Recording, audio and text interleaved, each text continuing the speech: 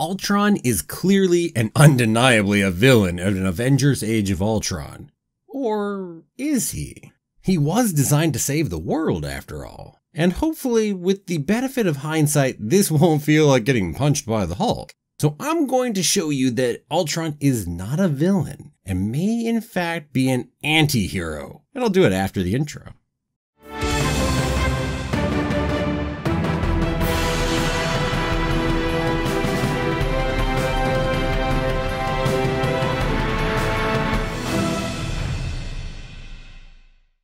Well, hello there. My name's Jeremy and welcome to Freeform Marvel. You may know me from my Freeform Disney channel where I've been talking about Disney, theme parks, Star Wars, Marvel for the past year. It's been a year already. Wow.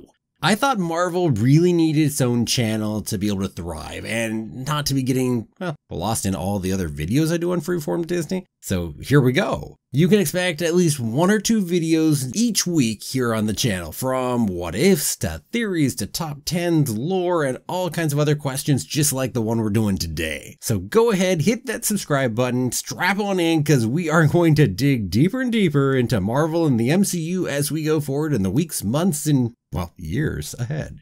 Today we're taking a look at a misunderstood villain something that can be a bit of fun. So, off the bat, let's note that Ultron wanted to commit mass murder and genocide. Just saying. So, this is no Captain America with great moral standards. But, is there another side to this story? Is he at the very least misunderstood? And not simply a horrible black and white villain. After all, it can be pretty interesting to defend the indefensible. So here's the case. Now, first off, before jumping in there, I'm going to say this. We could try to excuse this all away as a result of his program and simply say that he is not to blame. That it's all about the people who program, so Tony Stark and Bruce Banner and maybe the stone itself.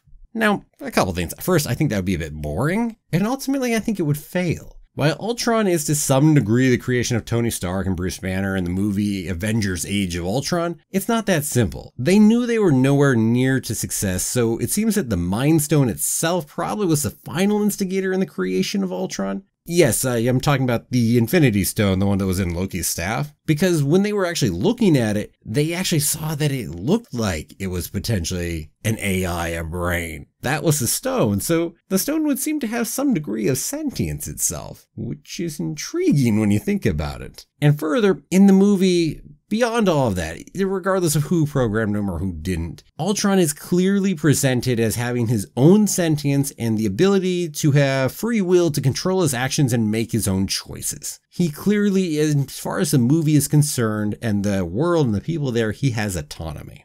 But why is he doing what he is doing? Yes, there are definitely his anger issues. And those certainly influence what he's doing and how it evolves and goes forward. There's some of Tony's personality in there, and that sure as hell doesn't help anything either. But the main driving force of what he does is his central program, his core mission, and that is from Tony. That is peace in our times. Very clearly, he says it numerous times and alludes to it a bunch throughout the movie. Now, he is striving to accomplish that mission throughout the entire movie, so his goal is clearly, certainly virtuous. I think that often gets overlooked. How he goes about doing it, that's a different matter and what that looks like for him. But I think we would generally agree that peace in our times is a virtuous goal to try to achieve. Now, his methods and how he pictures it, well, that's a different matter. Certainly not so virtuous. At least, certainly not from a human standpoint. He goes down one of the classic routes for artificial intelligence put into a villain role in a movie or a book or whatever else. Bit cliche. He sees all the problems with humans as they are, being warlike, highly conflict oriented, and this leads to him eventually determining that eradicating humans is the best way to achieve peace in our times. We've certainly seen this kind of story a number of times, and Ultron is another of those. But in fairness to Ultron, it does seem that that was not his first choice, and that he felt backed into a corner with the Avengers continuing to come at him,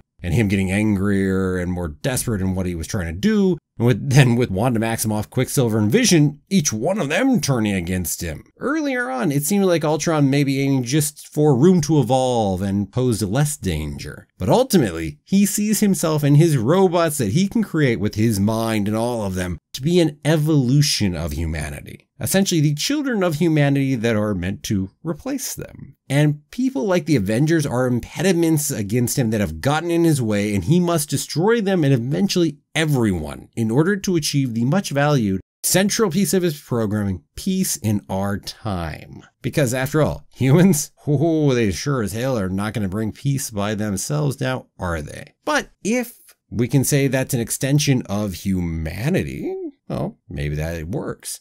And here's a bonus argument because there's even a little bit of an argument to be made that he may be aware humanity is not strong enough to fight off a giant threat, which he may actually sense coming via the Mind Stone. Kind of how like Vision sensed it too. He didn't know exactly what it was, but he could sense it coming. And same was true there for Ultron probably. Even the discussion between Ultron and Vision alluded to it. And also back to how Tony had some of the awareness he did. Remember the Mind Stone was there and involved in some of this too. And remember, the Mind Stone seems to have sentience to some degree and actually be a bit of an AI. Just saying.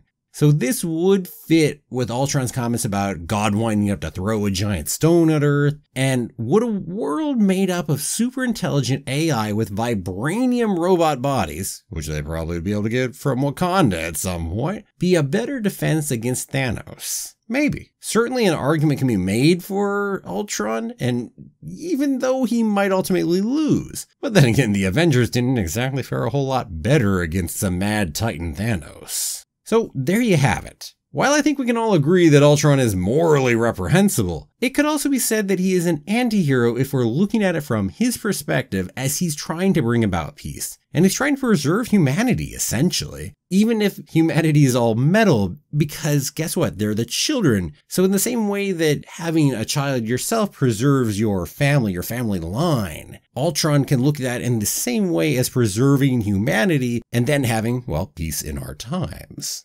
And when we look at things like this, anti heroes can certainly be morally reprehensible sometimes. Although, in fairness, they don't tend to be trying to commit mass genocide. We don't tend to go that far with an anti hero, but point being, so yeah, there is a case to be made that certainly the goals of Ultron do have merit to them. Even if the way he construes that and the way he goes about it is rather horrendous and that would make him certainly not a straight up black and white villain. There's a little more to him than that, at the very least. Well, perhaps I have convinced you to take a different look at Ultron as a misunderstood Marvel villain. At the very least, I hope to have painted a more well rounded picture of Ultron and his actions. And hey, with all these misunderstood villains, I find it fun to actually try to defend the seemingly indefensible, so I hope you enjoyed it as well. And hey, it's that time of the video, so let me ask, well, what about you? Do you think preserving AI that we create would effectively be preserving humanity? Or are those two very separate things? And are there any other Marvel villains that you would like to see me attempt to show to be misunderstood Marvel villains? Let me go ahead and know down below in the comments. And let me also take a moment to thank all of my wonderful patrons. If you are interested in helping support the channel through Patreon, there is a link down below in the description. And for everyone, thank you so much for watching. If you like the video, please give it a like and share it with your friends. I'll see you next time for another new episode of Freeform Marvel. And if you haven't done it yet, click that subscribe button and ring the bell. Have a magical day, and may the force be with you. Always.